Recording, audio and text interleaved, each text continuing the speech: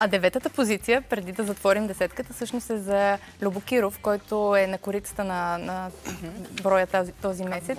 И в интервюто си той повдига една много непопулярна тема в България, която е за парите в шоу-бизнеса,